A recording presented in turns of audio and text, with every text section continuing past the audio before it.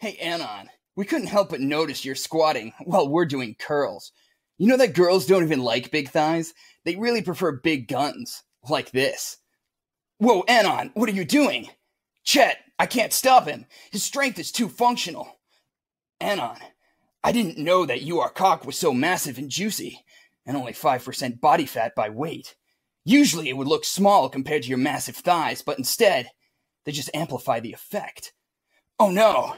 Now you're taking off my Gymshark brand workout shorts and entering my bully asshole. Wah! Wah! Wah! Wah! Wah!